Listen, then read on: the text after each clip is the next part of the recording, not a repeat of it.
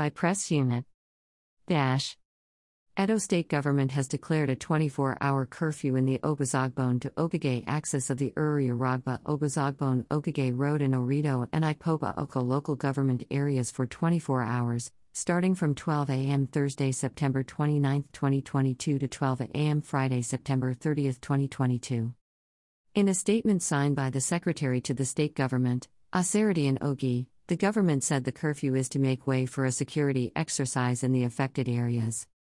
According to him, this is to notify the general public that the Edo state government has declared a curfew in the Obazagbon to Ogheghe axis of the Irhirhi Arogba Obazagbon Ogheghe Road for 24 hours, starting from 12 a.m. Thursday, September 29, 2022 to 12 a.m. Friday, September 30, 2022.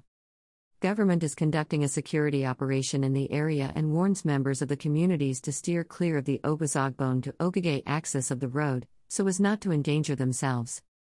Residents in the area are advised to stay indoors as the government embarks on the security exercise.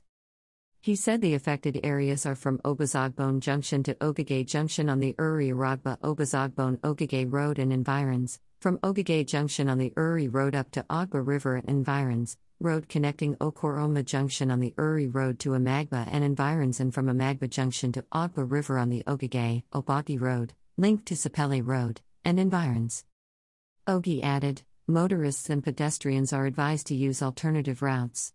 Anyone found loitering in the area during the curfew will be arrested. To be forewarned is to be forearmed.